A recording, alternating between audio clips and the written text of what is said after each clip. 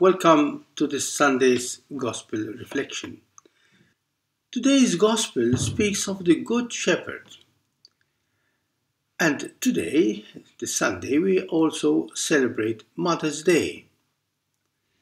Raises many memories of the first time that Mother's Day was celebrated when I was still a young boy. The combination of these two uh, celebrations, memories, the Good Shepherd and Mother's Day, made me think of two very good women shepherdesses who have taught me so much about the Good Shepherd. The first was an elderly lady tending her few sheep in a field. Well, I was walking uh, um, the countryside and, and saw this uh, elderly lady sitting on a low rubble wall in our Maltese countryside, and I could not help stopping to chat with her for a moment. And she was more than willing to strike a conversation.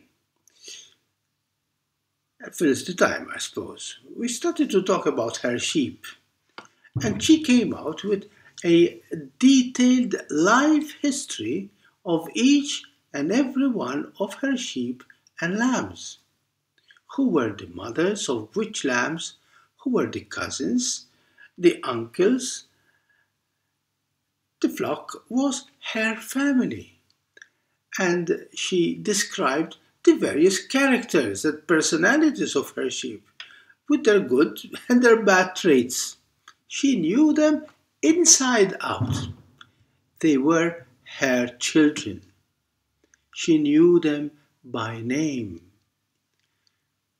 And then she opened up and was started saying how worried she was because she needed to be admitted to hospital and had still not found anybody to take care of her sheep. What would happen to them when I am away? Who will care for them? Who will stay with them? Who will love them the way I love them? How can they survive without me? Those were her worries. Which brings me to the second shepherdess that I know very well. She was my mother.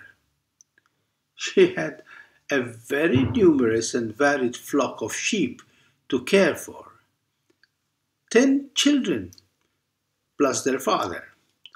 And like the shepherdess in the field, she knew also her children and her husband very, very, very well.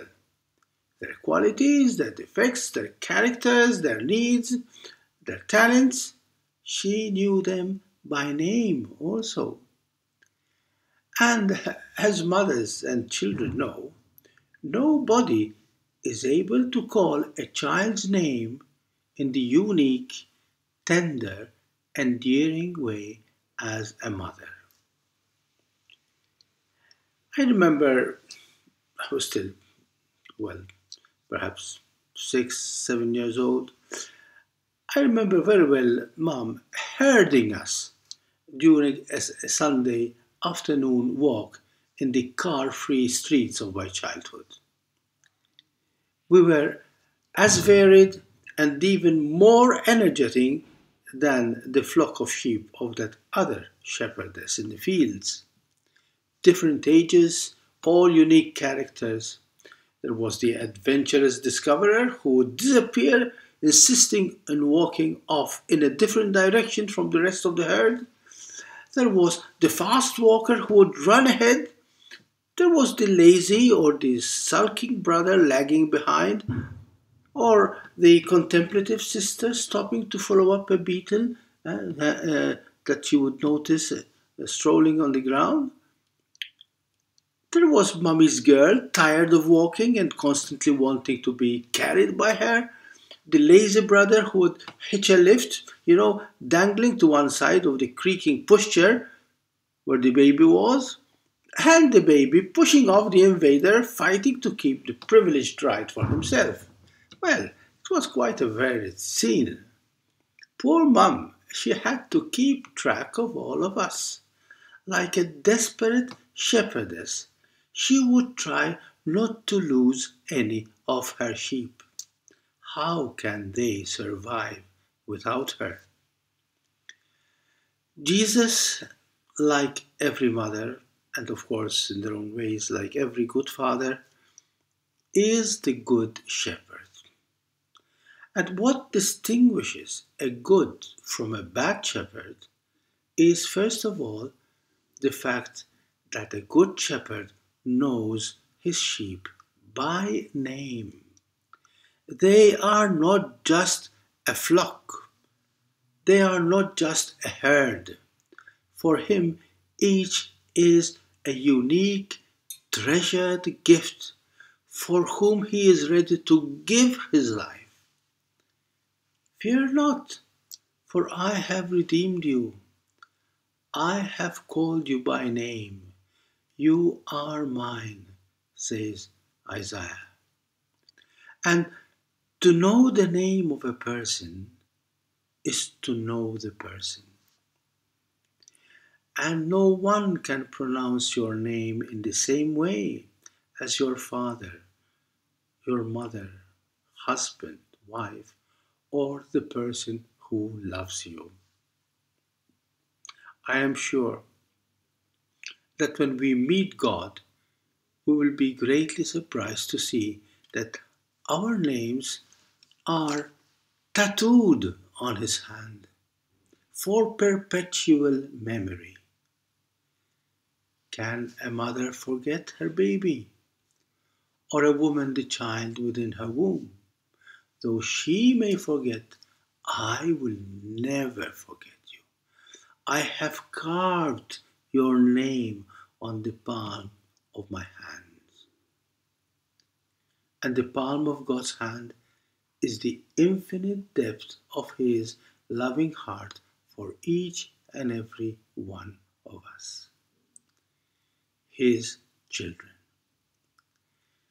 John, in his vision, saw a great multitude, which no one could count, from every nation, race, people, tongue.